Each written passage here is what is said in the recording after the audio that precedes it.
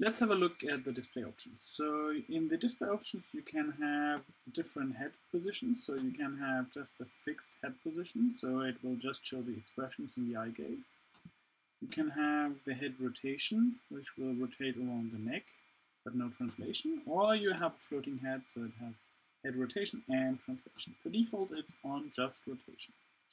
Then you can enable or disable the wireframe model. You can enable or disable the video. You can enable or disable seeing the depth map of the 3D sensor. You can enable or disable the 3D model um, of the person, of the actor, the personalized expression model.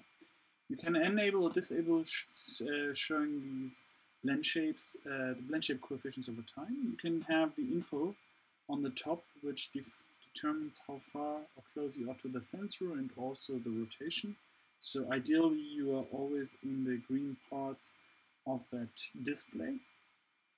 And then you also have animation smoothing. So animation smoothing will smooth the head position as well as the blend shapes over time. So by enabling animation smoothing, you will have a smoother animation, less jitter, but it will not be as crisp.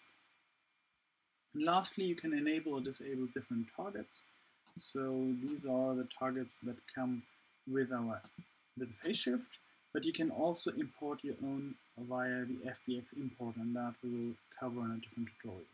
And AutoCycle enables you to switch between all your targets automatically.